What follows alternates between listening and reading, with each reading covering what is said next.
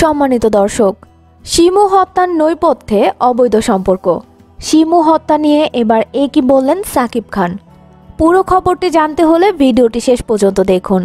আমাদের social media অবশ্যই follow করবেন আর অবশ্যই কমেন্ট করে জানাবেন ভিডিওটি কেমন লাগল।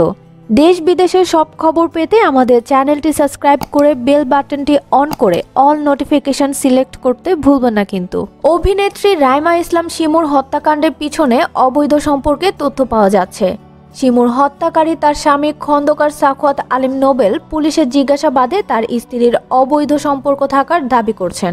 স্ত্রীকে পথে ফেরাতে ব্যর্থ হয়ে হত্যাকাণ্ডের পথ বেছে নেয় বলে দাবি করেছেন নোবেল। জিজ্ঞাসাবাদকারী কর্মকর্তাদের একটি সূত্র এ তথ্য জানিয়েছে, শিমুর সঙ্গে যার সম্পর্কে কথা বলেছেন নোবেল, তাকেও পুলিশ জিজ্ঞাসাবাদ করার উদ্যোগ নিয়েছেন।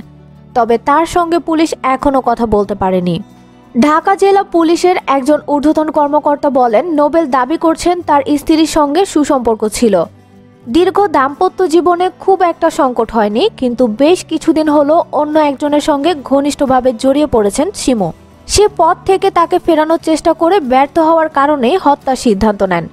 ওই কর্মকর্তা বলেন, নোবেল সত্যি বলছে কিনা সেটা জানার জন্য যার সঙ্গে শিমুর সম্পর্কে কথা বলেছেন, তাকেও জিজ্ঞাসাবাদ করার উদ্যোগ নেওয়া হয়েছে।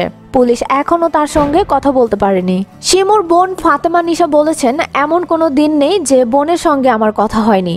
আমার বোনের স্বামী তাকে মেরেছি কিনা সেটি আমি জানি না। আঠারো বছরের সংসারে তাদের মধ্যে পারিবারিক কিংবা অন্য কোনো বিষয় নিয়ে কলহ দেখিনি। হত্যাকাণ্ডটি কেন তিনি করবেন? যদিও শিমুর ভাই শহীদুল ইসলাম খোকনের দাবি নবিলি খুন করেছে। সে মাদকাসক্ত প্রতিদিনই বোনকে নির্যাতন করত। এদিকে শিমুকে নিজের খুন করার সময়ে ওই বাসাতে ছিল তার দুই সন্তান। ঘটনার সময়ে তারা নিজেদের কক্ষে ঘুমিয়েছিল। এজন্য তারা কিছু বুঝতে পারেনি। পুলিশের জিজ্ঞাসাবাদে এসব তথ্যই জানিয়েছেন শিমুর স্বামী নোবেল। ঢাকা জেলা police super SP Mohammad Faruk Hossain Sardar বলেছেন, দীর্ঘদিনের দাম্পত্য কলহের জোরে শিমুর স্বামী তাকে হত্যা করেন বলে স্বীকার করেছেন। হত্যার পর লাশ গুমে তিনি গাড়ি চালক ফরহাদের সহযোগিতা নেন। নোবেল ও ফরহাদ বর্তমানে পুলিশের রিমান্ডে আছেন। তিন দিনের রিমান্ডের গতকাল ছিল প্রথম দিন।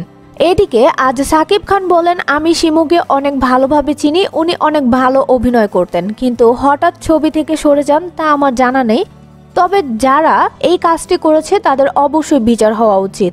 সম্মানিত দর্শক, শিমুর জন্য আপনারা দোয়া করবেন। ভিডিওটি আপনি যদি পছন্দ করে থাকেন, অবশ্যই লাইক ও কমেন্ট করবেন আর শেয়ার করবেন আপনার বন্ধুদের সাথে। কারণ দেশ বিদেশের সব খবর এখানেই পাবেন। আর হ্যাঁ সাবস্ক্রাইব করে বেল বাটনটি অন করতে ভুলবেন না কিন্তু।